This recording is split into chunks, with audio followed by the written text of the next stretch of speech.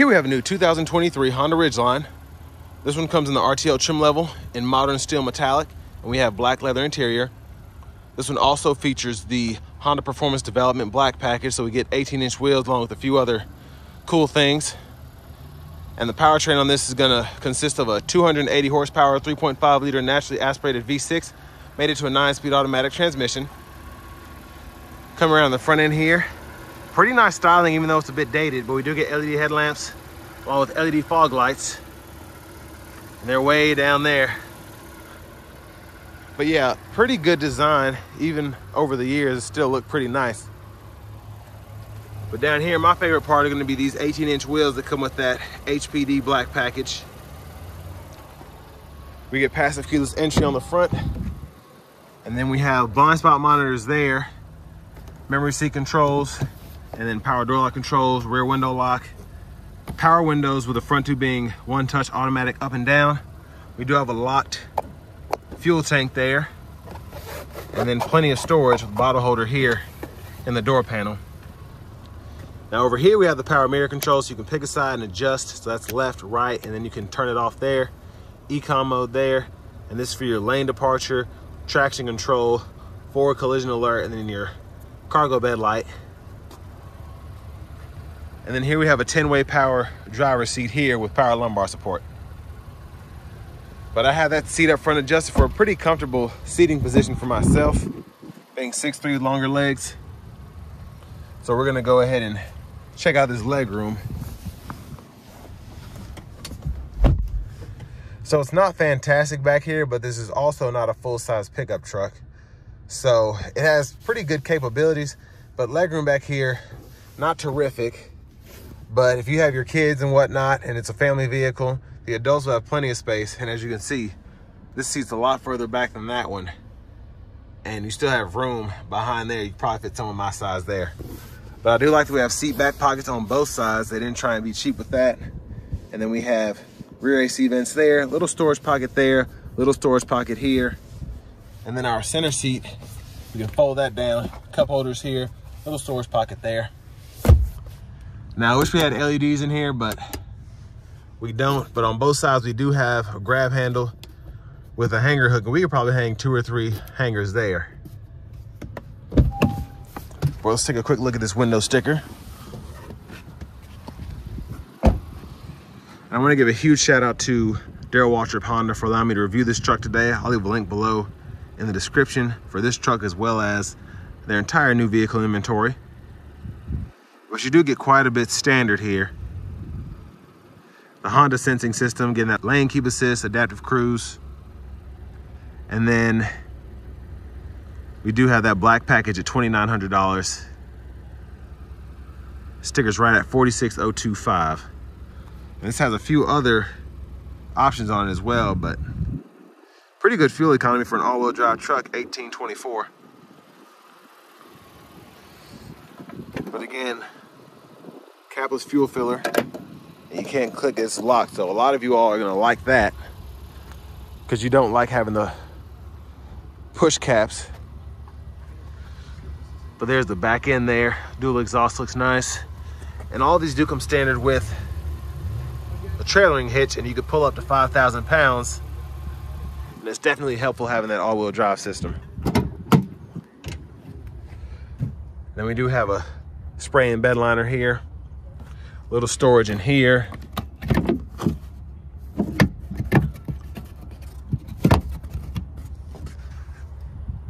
And this also has some I think those are floor mats right there. But I do like the V6 because it is pretty, pretty quiet in here. Or out here, excuse me. And then we can pull this handle here. And this does this on both sides, but we can fold this all the way up and have all this additional storage to stack up whatever we need to. And especially if you're moving or something like that, it'll be nice to have if you just have two people up front or if you even just have one person up front, you can move that seat as well. And this one is going to be four-way power for the front passenger. And we do have a lockable glove compartment here. Decent size, owner's manuals are in this one. I'm gonna cut this AC down for when I get in.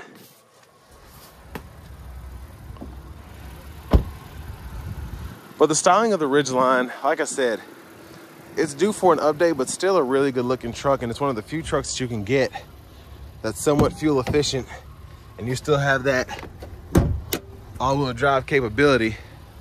And there is a huge market for people who want something like this. If you're in between a Maverick and an F-150, the Ridgeline is that perfect middle point and it's mostly covered up, but there is a 3.5 liter V6 underneath all of that.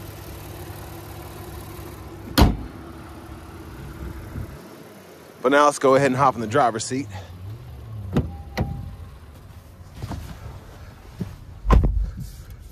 So leather wrap steering wheel feels very nice. And I do love having paddle shifters. But we'll get back to the steering wheel here momentarily. Over to the radio here, this is the home page. So hit audio here and we do have AM, FM, XM radio along with Bluetooth audio. And then we have wired Apple CarPlay, wired Android Auto compatibility. We even have an aux input as well. So nice to have that. And then our settings here, if you ever need to use Wi-Fi, you do have access for all that here, as well as your Bluetooth. Now touchscreen can be a little finicky, but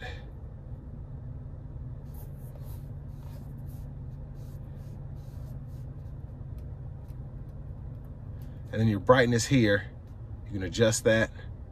You have two modes, and then if you want to, you can actually toggle it here.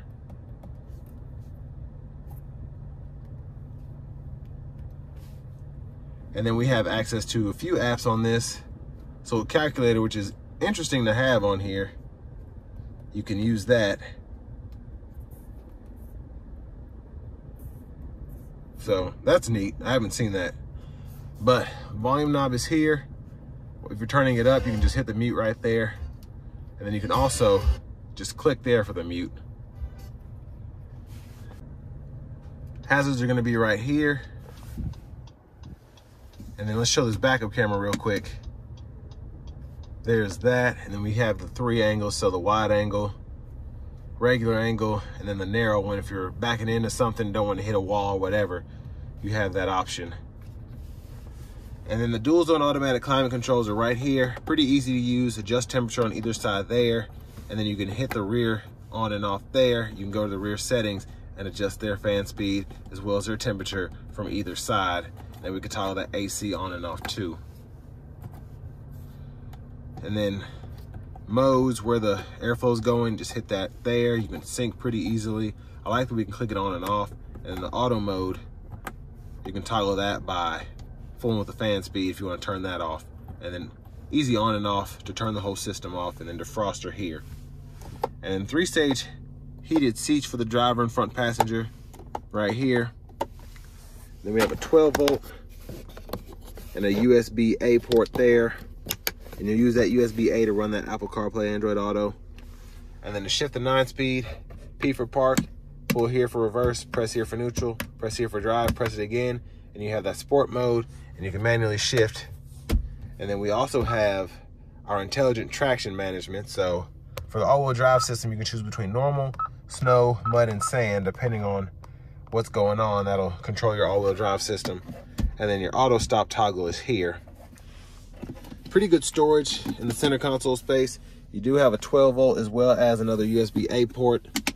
There's a little light down in there as well. And then you have a sliding tray that you can move back and forth. And then you can also remove it if you want to. And then it just comes out and then you just put it back on the tracks and then you're good to go. And then to the sunroof here. Buttons are here. You can one touch push or one touch tilt the roof open. Goes back decently, pretty good distance. Then you can close it back one touch as well.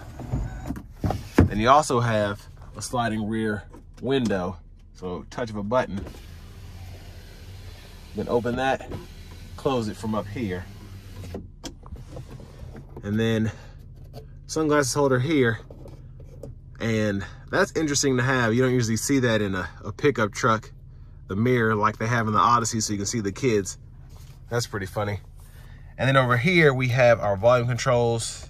And this is for our track list or radio station preset controls. Use these buttons here. And then you can hit this source button and you can toggle between AM, FM, XM. And then if you have something else hooked up, you can use that as well. And then you have other buttons here. Bluetooth buttons, voice recognition. And then this is for your gauge cluster. So you can see you go through there and then you can reset and then lane keep assist here that's for the lane centering actually and then this is for your adaptive cruise and you can set all that and then gap adjust is here headlamp controls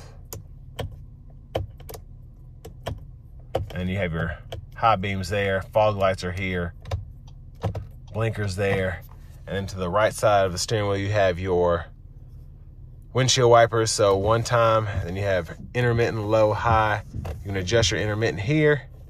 And then you have front wiper fluid there. You can adjust the brightness of the gauge cluster here. Interesting place to put those, but it's up and out of the way.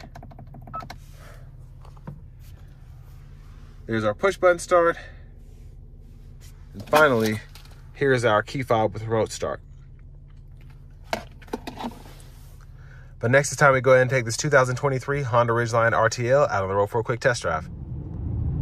So behind the wheel of the Honda Ridgeline here, it's uh, I like how it drives, and I might get a lot of slack for that, but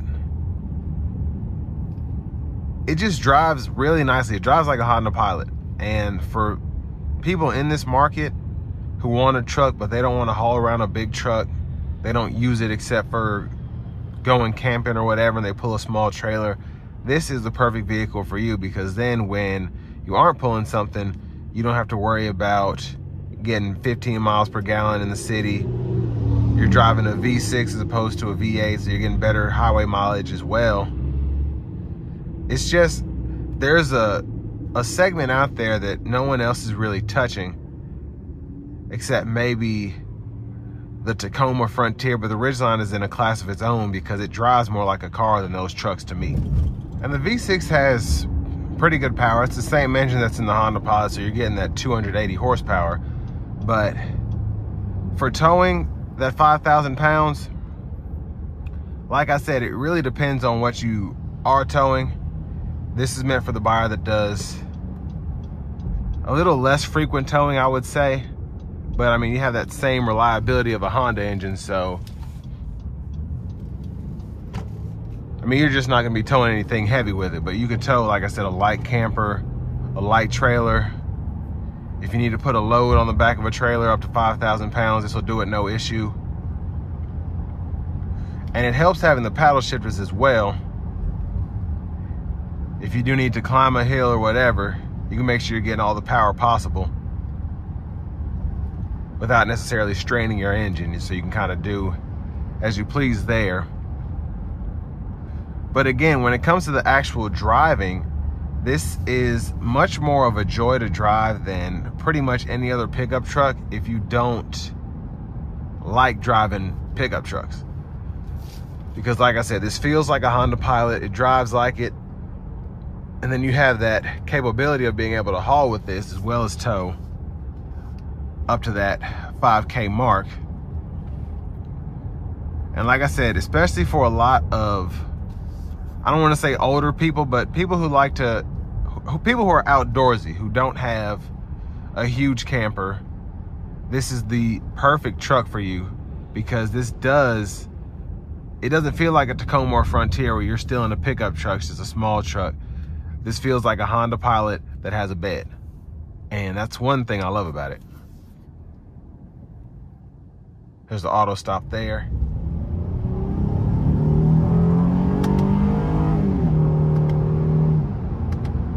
So in sport mode with the paddle shifters, this is a pretty quick truck.